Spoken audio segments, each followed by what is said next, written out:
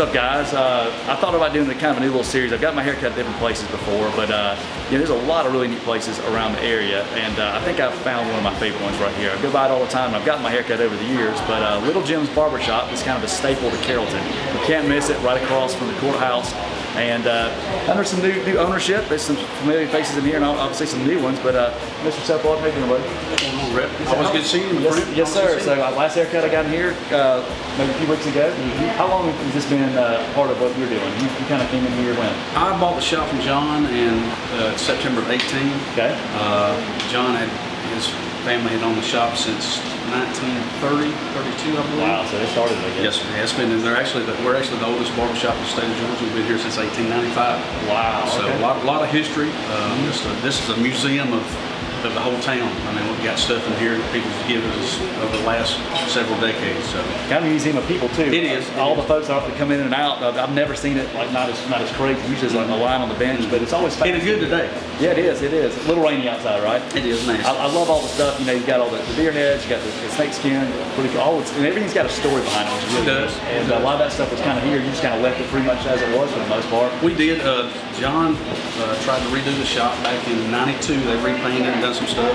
And it was met with such uproar that uh, everybody, all the customers, wanted it to be original, kind of like the old uh, shop that was down the hill was. So there's a lot of a lot to be said about the, the, the some things never change type, type of deal. So Oh yeah. So what makes your your barbershop different from other places? well, we're a, we're a full. Uh,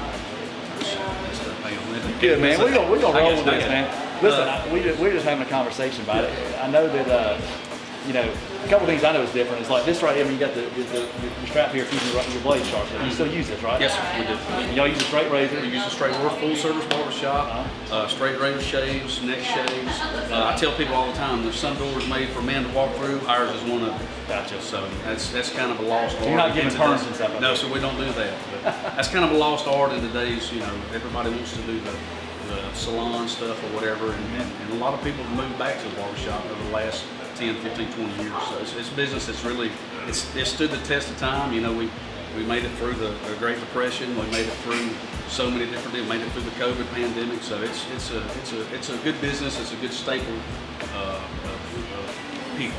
Uh, well, people are going to get their hair cut, and, and just to kind of like people are not going to live outside, they're going to have some kind of house. That's right. That's kind of, I think we're in a stable business. Absolutely. All Hopefully. right. Hopefully. Well, we do all we can to keep it going. That's right. So I'm, I'm going to go for it. You just treat me as you would anybody else. All righty.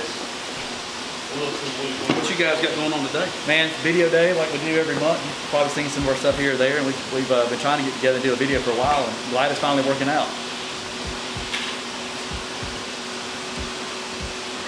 It's always neat to get to see people kind of uh, in their own element and also outside the element a little bit. We got a chance to hang out this past Saturday night. Um, uh, you guys all know we do the Shop with Cop program, and uh, Which is always a great event. Oh, We yeah, had such- got- we had such a fun. So they do Eddie LeBlanc and those guys. They do such a great Man, job. Absolutely, and uh, these guys are big sponsors of, of that, and uh, you know, it's, it's businesses like this that support the community make these things happen. So that's why we kind of like to show off why is it great to live and work in our area, and uh, you know, kind of uh, you know, give a chance to experience some of that. So. Uh, you know, a lot of a lot of you guys maybe never gone in and actually have the straight razor uh, on there. I, I really, I think it's one of the best best things about it. That's why obviously I'm, I'm, I'm coming right back. So, you know, a lot of uh, a lot of different uh, ways of looking at it. Like the salon stuff's good, um, you know, but uh, I think that you know there's a different place for everybody, and just find what, what works best for you.